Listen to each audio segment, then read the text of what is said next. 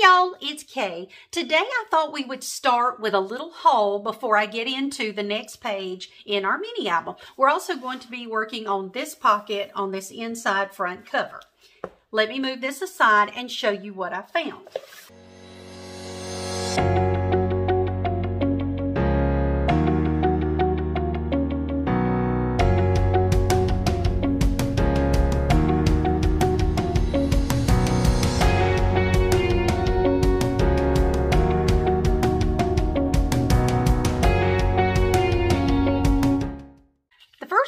Wanted to show you is this lace trim that has these little daisies with the embroidered yellow centers there. I got it at Hobby Lobby when it was 50% off, which is every other week.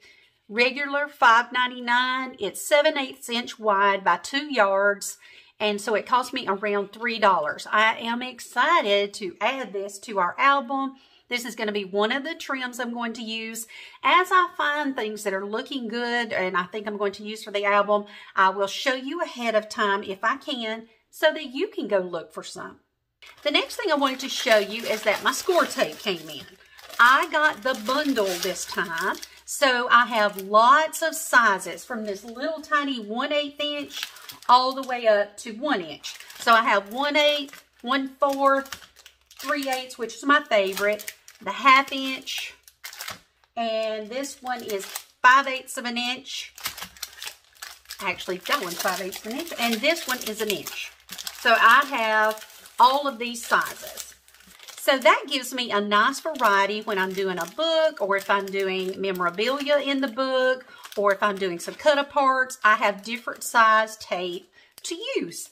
And that's a lot more convenient than piecing together a bunch of small pieces.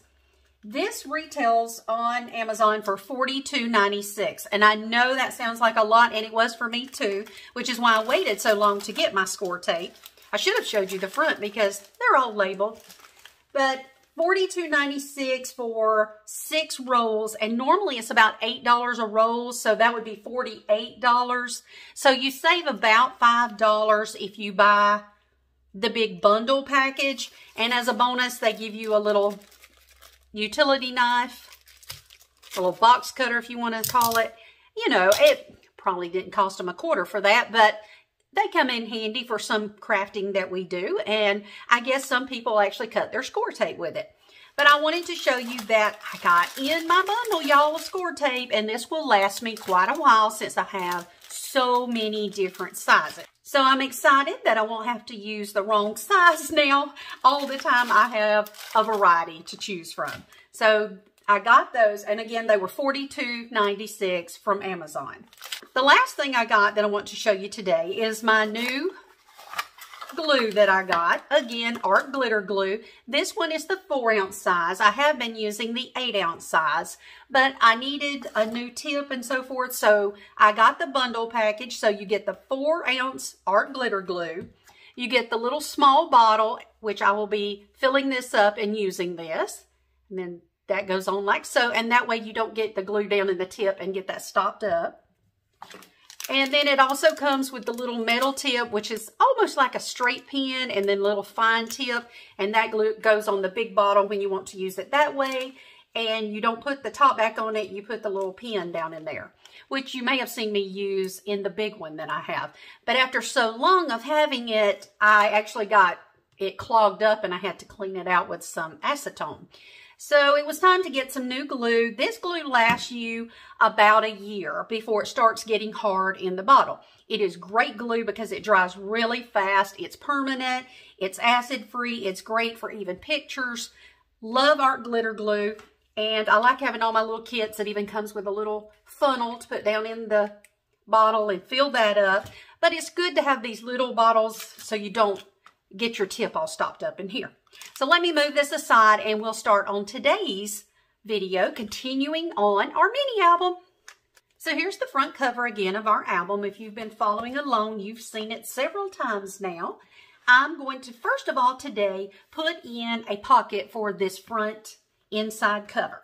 That way we can slide all kinds of things in there, memorabilia, maybe just pictures and items while we're working on the rest of the album, and then we come back and place it where we want it to go. So a pocket is always nice. You could put tickets in there from different events, whatever you did. Maybe this is a spring album and you're just going to log your year, but any memorabilia or any brochures, maps, whatever you could put in this front pocket. So many things you could come up with.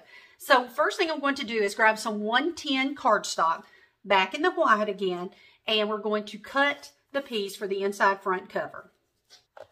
This is my 110 pound cardstock again in the white. I'm going to turn it on the side, the long side, and cut it first at nine inches. So that's our first cut, nine inches. Then I'm going to turn it this way and I'm going to cut it at four and three quarters.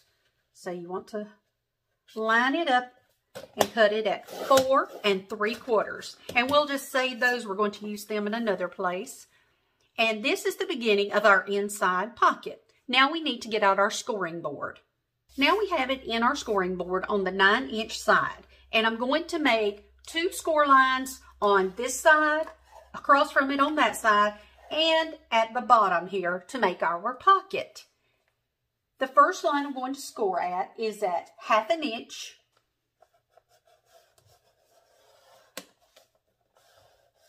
Half an inch. Again at three quarters of an inch.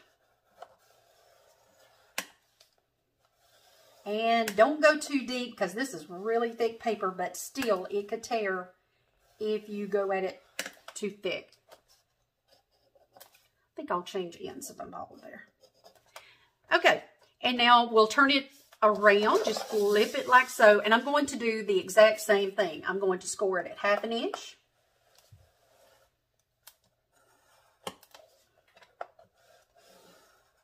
And three quarters of an inch.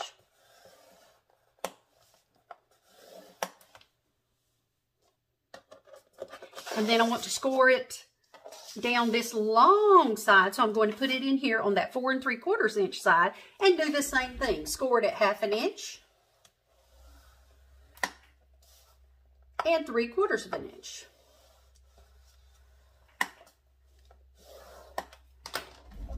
And now we fold it. So I'm going to turn it over like so. Fold that up. And then I'll fold this side. We're going to fold again on the second line. So what you've done is create a gusset. And that's going to give us room to slide everything in. So let's get everything folded. And we also need to burnish them down. So I'm going to burnish this first one. And this one. Turn it over here on this side and fold inward again.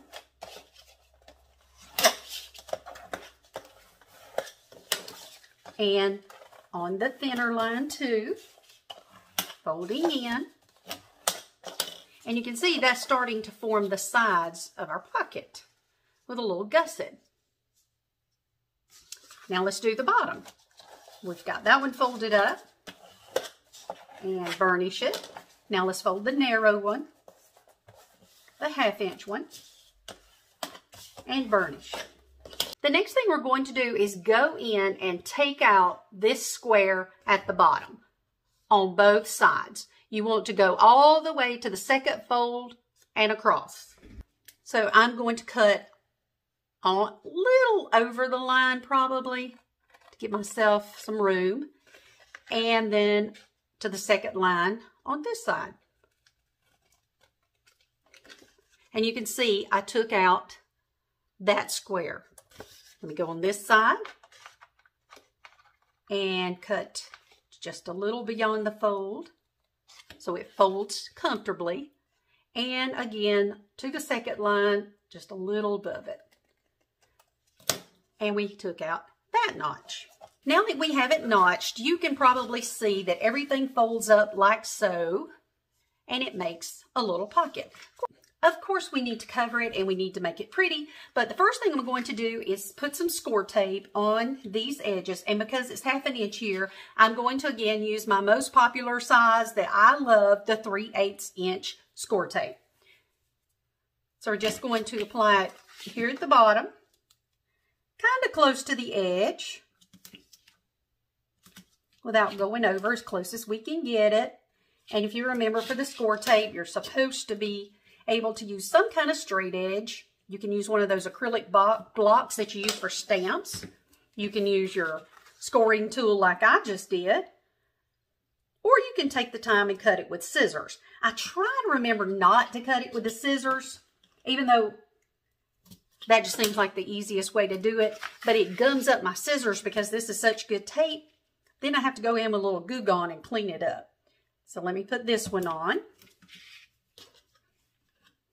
Okay. And we want to burnish that down.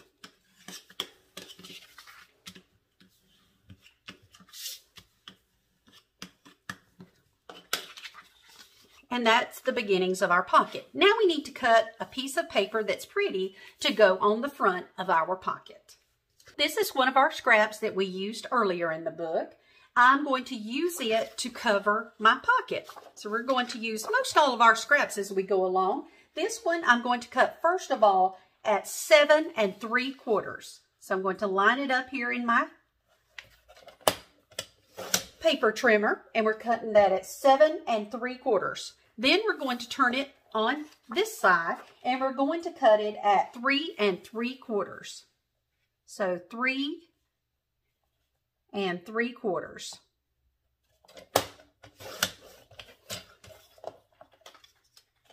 I think since I have this 5 8 inch score tape, I'm going to use it around the edges here of the back of my scrapbook paper. Let me get that on. I'll just speed this part up.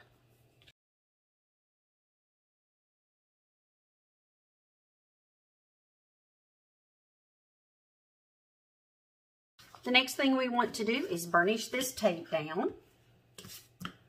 Give it a good pressing. We want to make sure it's on there really well. And then we're going to take off the backing from our tape. I'm using my Cricut pokey tool that you use for weeding in Cricut. And I did see where the Dollar Tree is selling one that looks almost exactly like this, y'all. And I would buy one just because I lose these so often. But my store doesn't have them in yet. Let me know if you have seen them at your store. This is an invaluable tool. It is used for a lot of things.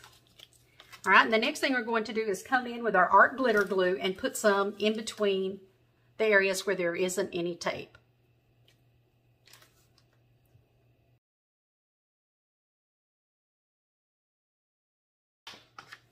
Now we're going to put it down onto our uh, pocket. I told you wrong earlier. I told you that I cut it at seven and three quarters inch wide. It is seven and one quarter inch wide.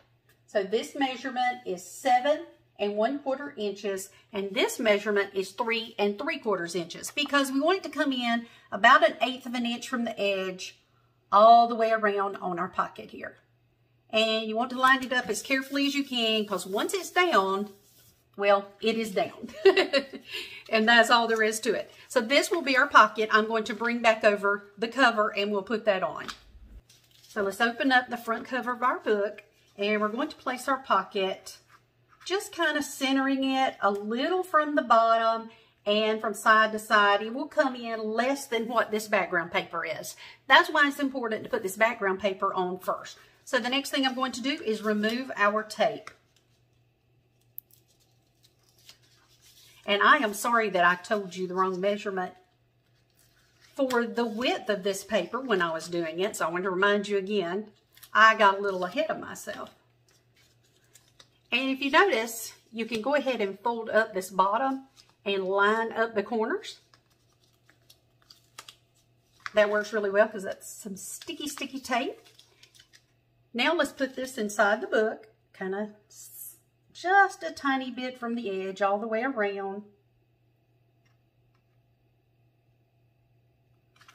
Once I get it where I want it. The next thing you want to do is come in and make sure these sides are smoothed down and that our pocket is nice and stuck. Let me bring back over page one. So this will be the first page we will see in our book. See how that's coordinated and it's so cute. This was the scrap from this piece. And this will fold over like so. And I have page two and page three that we're going to work on next. And this, of course, is signature one, signature two, but page two, page three. So what I have decided for page two and three, I'm going to have some flaps coming down from the top and over this way, and maybe we'll have some side flaps too. But let's get started, and the first thing I'm going to do is take out some 65 pound white cardstock to make our flaps. The first thing I'm going to do is put my page in here on the 11 inch side, and I'm going to cut it exactly in a half, which would be five and a half inches. So let's line it up at five and a half, just like that. And we want to do that one more time. Now for the second sheet, cutting it at five and a half inches on the 11 inch side.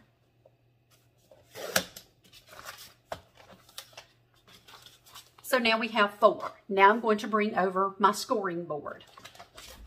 Now I have it in my scoring board on the eight and a half inch side and I'm going to score it at half an inch on one end. And then we'll fold that down and burnish it. Now let's do the second one on the eight and a half inch side, score it at half an inch. And fold it under and burnish it.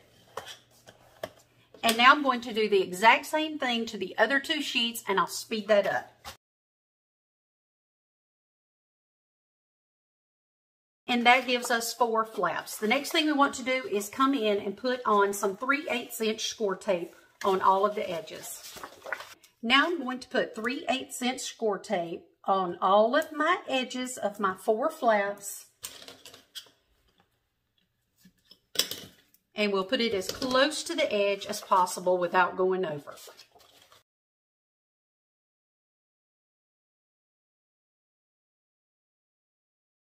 So now let's look at page two. I'm going to put my flap down. I'm going to put it a tiny bit from the top and I'm going to center it from side to side this way. And then I will come in with the second one and we'll center it in the middle as well. We could use magnets on this, but I usually don't use magnets when it's this big because between the weight of the scrapbook paper and the pictures, it will stay closed. So let's go ahead and put this one on, and then we have to be careful with the second one to make sure it lines up with what we did at the top. So I'm going to turn this around and get out my pokey tool and remove this tape. I just want it near me so I can make sure I center it as best as possible. And it comes in about an inch on both sides. And so that's our first one for page two. And I'm going to turn it around and I'm going to put the bottom one on. Same thing, just remove my tape. The backing for my tape, actually.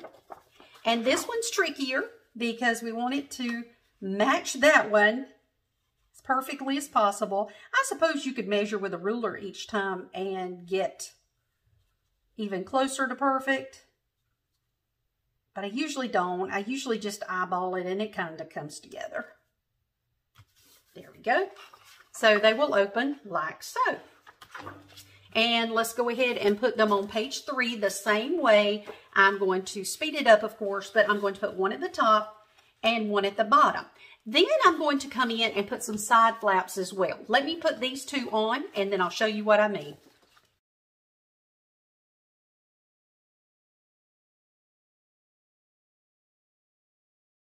So the next thing we need to do is cut our side flaps. And what we're going to do is keep this eight and a half inch side. We're going to turn it on the 11 inch side and cut it at seven inches.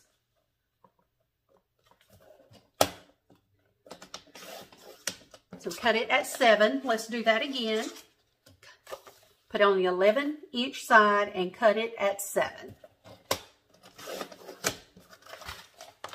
This is going to give us two flaps. Now we want to put it in our scoring board on our 7 inch side and we're going to score it at half an inch. Remember, not too deep. Score it at half an inch. We'll fold that over and burnish it down. That gives us one side pocket. Then let's take this sheet again and put it on the seven inch side and we're going to score it at half an inch. I think I have some glitter down in the grooves of my scoring board and that's why I have a little bit of difficulty. So it's got to have a good cleaning this weekend. And let's fold that over. When I'm using glitter on a project, it gets everywhere. Do you have that problem? My son calls it ground up evil. I like glitter, but my boys don't like the glitter. So this is going to be our two side pockets. They will be attached like so to the side. Next thing I want to do is put on our 3 8 inch scoring tape. So we'll just put this as close to the edge as we can and get it lined up. Put it on our paper here. We'll get that with our tool to cut it off. All right, that's one. Let's do the second one. Same thing, using my 3 8 inch score tape. And there are other tapes on the market. I'm not saying you have to use score tape. It is just my preferred tape. And there are cheaper tapes. There really are. But if this is going to be something you keep for a lifetime or you're making for a gift or you're selling at a craft show, you want it to be a really good product. And this stuff stays together. Do you remember how I said I keep the little sticky notes on there for just about the whole entire project till I get it together? Um, it's always a good thing because I'm always verifying to make sure because I don't want my pockets on the wrong side, right? I want it to be on this edge coming out and I want this one to be on this edge coming out. So let's get those attached. I'll move this one aside for now. And it goes on this side. So again, I've already burnished down my tape. Let's remove this backing, just like so. And then we're going to line it up kind of centered from top to bottom. And tiny bit from the edge, not a lot. And we'll smooth that down. And we could have it fold out like so, and then this one come up and that one come down. So you have a choice. You can do it that way. Or you could have this one go inside and these come down. The flaps are really important because remember, this is an interactive mini album. Excuse me, interactive mini album, which means you've got pages moving, things that move around and give you more depth and dimension. And we can put pictures here, here, here, here, here, and here, and here also. We have lots of room for our pictures and our memories. So let me get the next page on. So we'll just burnish this down. I'm going to remove the backing. And then I'm going to open this up. This is the side I want it on. I'm going to move it towards me so I can center it and get it smoothed down. And then there is page three. And we've got all of those sheets moving around. And if you recall, I told you that inside we'll have inserts here too. And we haven't even begun page four. It will be something totally different. So this is what we're looking at right now. All of these flaps. Now I want to go in and put our background paper here and here. Let me pick a pattern and we'll get cutting. So if you recall, this is the paper I'm using. It's called Mint to Be Craft Smart. Got it at Michael's. It was hot buy. I bought it when it was buy one, get two free. Now they do it a little differently, but they still, uh, about once a month, give you a really good price on these paper pads. This is the color I have chosen for the background on page two and page three. I like my pages to complement each other as they open up and it makes for less decisions you have to make, right? So if you have the pages looking very similar on the right and the left, you don't have to worry about all your colors not meshing, right? So I'm going to use this. This page is largely not seen, so my little rule of thumb is I pick a cute page and a coordinating page, but I don't pick my prettiest page to go on the back of page two and page three not on the background. Because again, so much is going to cover it up. We're going to have pictures on here. maybe some wording and maybe some journaling. A lot of different things we can do. Some stickers, some cut aparts. Maybe we have some um, stamping going on. A lot of things you can do. So I picked my least favorite, but I still like it. That's important to me to be the background of page two and page three. We're going to cut these at seven and a quarter by nine and a half. Let me get my cutter. First cut I'm going to make is seven and a quarter inches.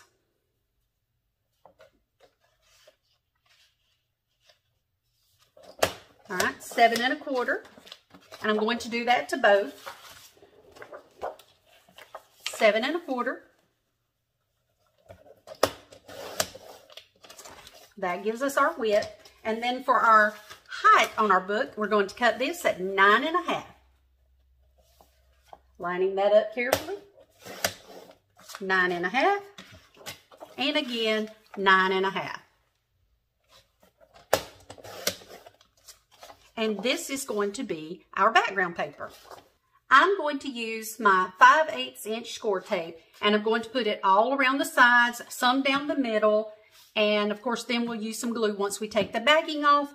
But I'm going to speed up this process. I'm going to put it as close to the edge as I can and I'm going to burnish it down with my scraping tool and then I'm also going to use this to help me tear the tape. So I'm going to speed up this process a little bit.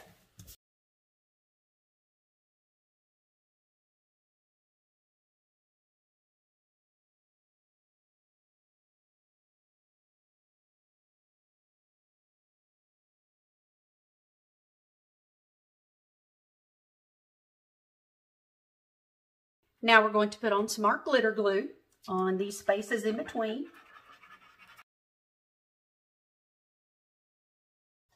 Now to remind you, that's page one, flipping it over, flipping out all of our flaps. And for page two, I'm going to move our sticker aside for just a moment. And I'm going to carefully place it here on my backing. This is not directional, so it doesn't matter what's the which one's the top, which one's the bottom. You want to move it in about an eighth of an inch all the way around. And then we'll just press that down.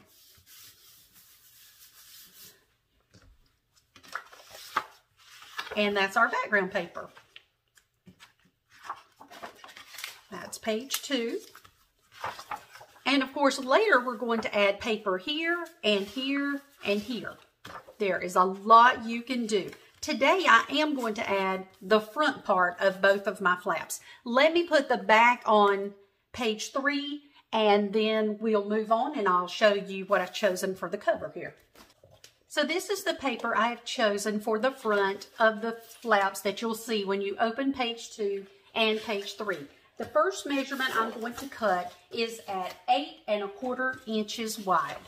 So it's non-directional. We don't have to worry. So we're going to cut it at eight and a quarter first, and I'm going to do that on both of them. Eight and a quarter.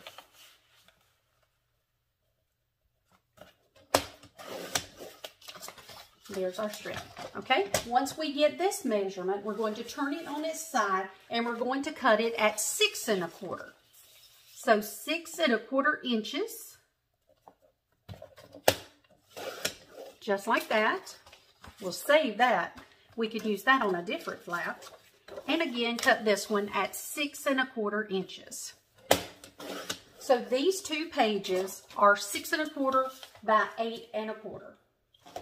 Now let me get some glue on the back of these. I'm going to use my score tape. I'll go ahead and use the 5 8 inch again and get that on there and then we'll put some glue and put it in our book.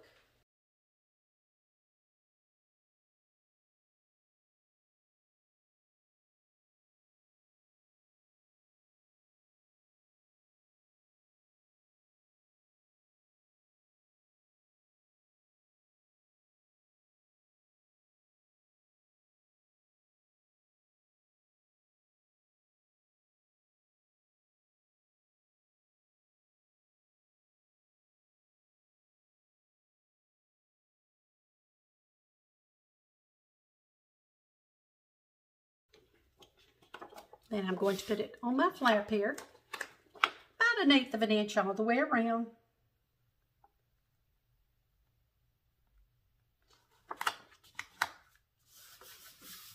Smooth that down. And later on, we'll come back and add paper here and here and here and on the back sides as well. Today, I'm going to stop with just the front, but I am going to do page three as well so you can see how it looks coming together. So with this, I think we're going to close out today's session working on our interactive 8x10 mini album.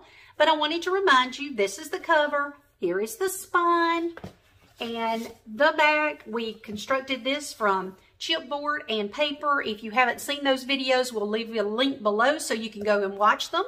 Opening up our mini album, we've got our hinge here that all of our signatures will go on. We've got a, our pocket that we did today. Here is page one when we open it up. It's a gateway fold. It has a magnet in there and it goes like so. And then we'll move to page two and we have three flaps on these pages. So we have a lot of opportunity to put pictures. This is just the beginning. We still have pages four through eight plus the back cover and we'll do something creative to that.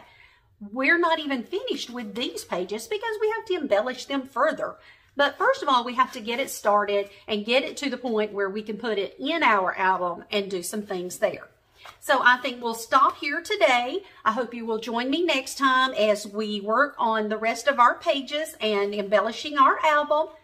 Don't forget tomorrow is our scavenger hunt on our other channel called Crafting Cousins. And we will be giving away another Cricut Joy there. Seven other channels join us and you'll be going through and looking for the secret words in each video. You will email those. There will be lots of instructions in that video tomorrow. Also, we're going to have craft chat early tomorrow morning. So if you want to come, talk to Trish and I, give us some questions, some comments. Um, whatever, tune in in the morning. Um, we will be having craft chat and we're going to do it live. We don't always do craft chat live, but we will this Saturday. Thank you guys for joining me and I hope you have a great weekend. Bye y'all. Thank you so much for watching today. If you saw something you like, we hope you'll give us a big thumbs up. Leave us a comment and let us know what you think and if you have any suggestions. We just love hearing from y'all and it really does help our channel grow. Bye, y'all.